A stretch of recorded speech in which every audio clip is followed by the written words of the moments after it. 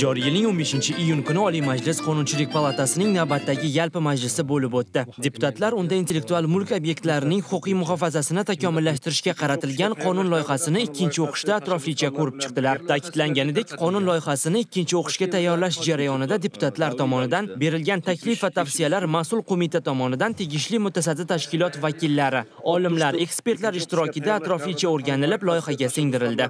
Qonun loyihasida intellektual mulk obyektlarini davlat ro'yxatidan o'tkazish jarayoniga tezkor ekspertizani joriy etish, intellektual mulk obyektlarini ro'yxatdan o'tkazish muddatlarini qisqartirish, mualliflik huquqi va turdosh huquqlar sohasida mulkiy huquqlar himoya muddatini uzaytirish normalari o'z aksini topmoqda. Shuningdek, loyihaga muallif vafotidan keyin mualliflik huquqlari himoya muddatini 50 yildan 70 yilga oshirish to'g'risidagi norma kiritilyapti. Ta'kidlanishicha, bu muallifning kamida ikkita avlodi yashagan davr mobaynida unga tegishli bo'lgan mulkiy huquqlar himoyasi ta'minlanishiga xizmat qiladi. Qizg'in muhokamalardan so'ng qonun loyihasi deputatlar tomonidan 3-o'qishda qabul qilindi.